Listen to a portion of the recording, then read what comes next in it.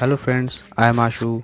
Today we will see how to save uh, your Lync conversation manually in your outlook if it is not uh, getting saved in your outlook. So let's start. Open your outlook. Here is my outlook and on the left side in conversation history folder you can see there is no conversation saved. So let's start our Lync. Yeah I'll open any contact and start chatting with him let's open this. Here you can type anything that you want. I'm typing this is a test message just for testing purpose. So you can see this is a test message. Now uh, uh, over the over here you can see an arrow. Click on this and uh, there you will see option show menu bar click on this option.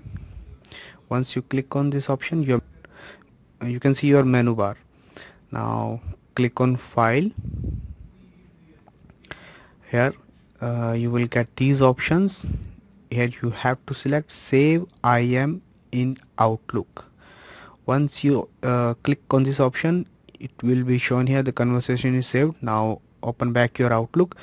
Now in your conversation history folder in your Outlook you can see the current conversation that we just uh, did is showing here.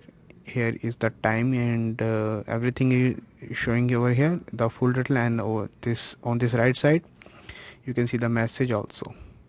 Well in the same way you can save as many messages. Thanks for watching the video. Bye bye